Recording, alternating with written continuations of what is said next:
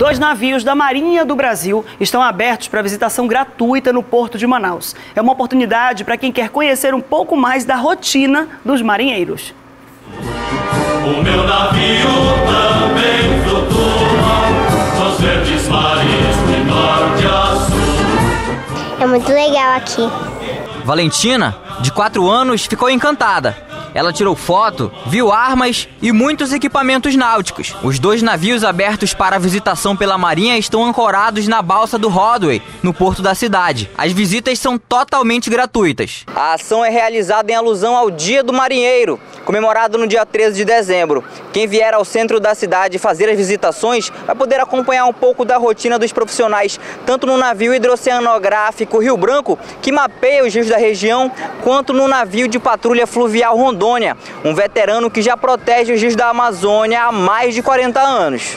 E a Marinha do Brasil está de portas abertas aqui convidando a sociedade amazonense para conhecer um pouquinho do nosso universo marinheiro. Amanhã, os navios vão estar abertos para visitações de 8 da manhã até as 5 da tarde. Dentistas voluntários do projeto Sorriso Solidário realizaram hoje, no abrigo Chegai-vos a Deus, no Tarumã, tratamentos odontológicos gratuitos.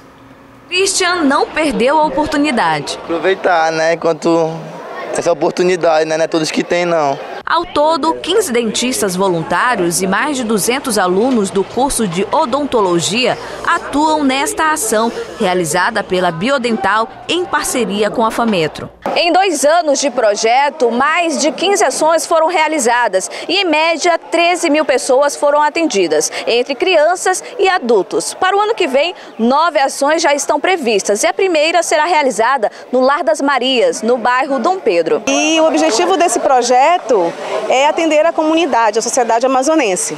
Né? Então, nós prevenimos, nós orientamos e nós tratamos. Tá? E aí, sempre em parceria com a Biodental, né, onde acontecem os tratamentos odontológicos. Além do atendimento odontológico, cestas básicas, roupas, calçados e kit de higiene bucal foram distribuídos aos pacientes. O vice-governador do Amazonas, Carlos Almeida, visitou hoje Itacoatiara e prometeu a liberação de verbas da Agência de Fomento do Estado para investimentos no setor pesqueiro do Baixo e Médio Amazonas. O setor pesqueiro emprega cerca de 100 mil pessoas na região do Baixo e Médio Amazonas. Por aqui, pescadores dependem do rio para sobreviver e retiram o sustento da família do comércio de pescados.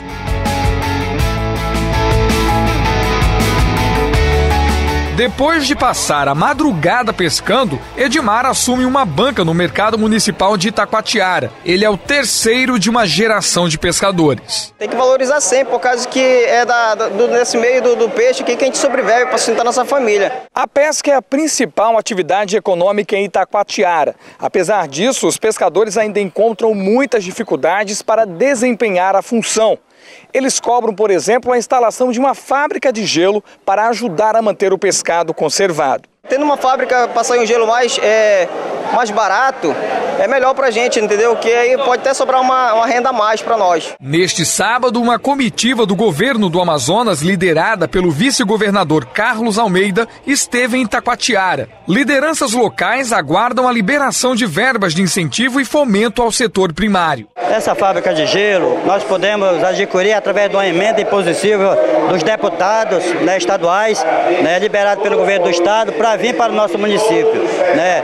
É, é, não é financiado, é doado pelo governo do estado e assim ajudando o nosso pescador ter um gelo mais barato. Parlamentares da Assembleia Legislativa acompanharam a solenidade e ressaltaram a importância do investimento. Iniciativa extremamente importante para o município de Itacoatiara, para todos os pescadores do município de Itacoatiara e mostra o compromisso do governo do estado, que no primeiro ano está indo aos municípios, está ouvindo a população e está trabalhando para desenvolver a região. O vice-governador do Amazonas falou da preocupação do executivo com os interiores e prometeu total apoio às demandas da categoria pesqueira. Estar aqui direto com os pescadores significa a preocupação e a demonstração clara do governo do estado do Amazonas no investimento e no fomento à produção que merece atenção. Itacoatiara tem hoje quase 120 mil habitantes. A grande maioria da população vive da pesca artesanal e da agricultura, as duas principais atividades que predominam em cidades do interior do Amazonas.